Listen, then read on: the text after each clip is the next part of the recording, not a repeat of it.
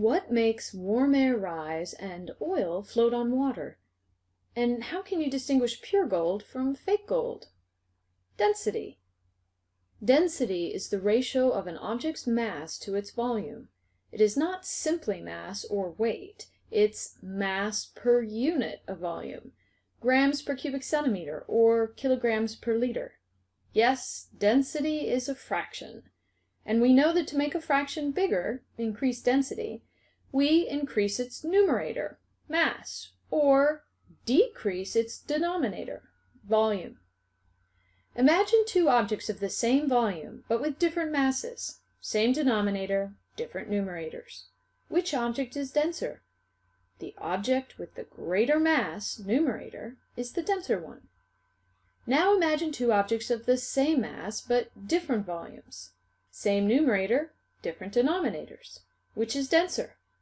The object with the smaller volume, denominator, is the denser one. For example, here is a gold nugget that is the same volume as this quartz crystal. Which is densest? Because the gold nugget is almost five times more massive for the same volume, it's denser. Now let's compare this gold nugget with an equal mass of quartz. The quartz would have to be five times greater in volume to have the same mass as the gold. Now they are present in the same mass. Are they the same density? No. With the same mass, the material that is smallest in volume is the most dense. The gold nugget is still densest. Pause now.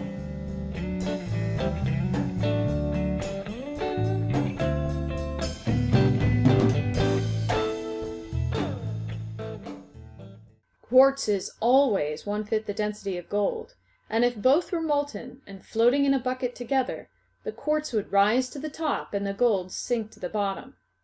We see this really clearly when we mix oil and water. The denser water sinks under the less dense oil.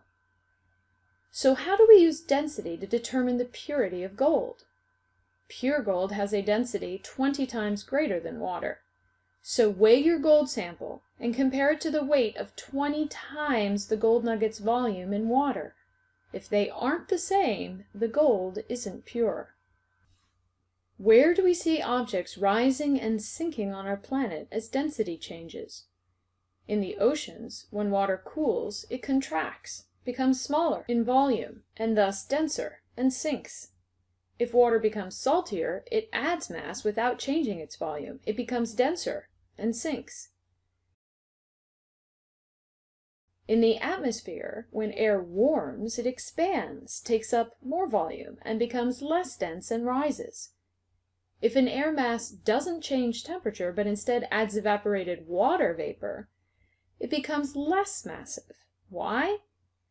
The same volume, but the water kicks out one of the other heavier gas molecules and replaces it with itself, which is less massive, thereby making the total mass less. The less massive air is now less dense and rises. In the asthenosphere and outer core, heat at the base of the layer causes the plastic or liquid material above it to expand and take up more volume, thus becoming less dense. This material rises upwards and displaces cooler material that is now denser than its surroundings and sinks. This transfer of heat in a plastic or liquid medium is called convection, and is the main cause of plate tectonics (convection of the asthenosphere) and the earth's magnetic field (convection of the outer core). Want to know your own density? Jump in a pool. If you sink, you're denser than the water. If you float, you're less dense. Try it yourself, but only if you know how to swim. Pause now.